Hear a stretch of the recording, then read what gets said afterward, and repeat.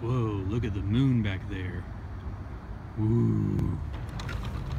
Hey guys, it's been a rough few days, like I said in yesterday's vlog, but we're getting better. And I got some exciting announcements I'm gonna be making on my channel tomorrow. So stay tuned, I'm doing some after work grocery shopping. So yes, stay tuned tomorrow. I got some exciting announcements for the future of this channel, some future videos for this channel, and everything. Bye.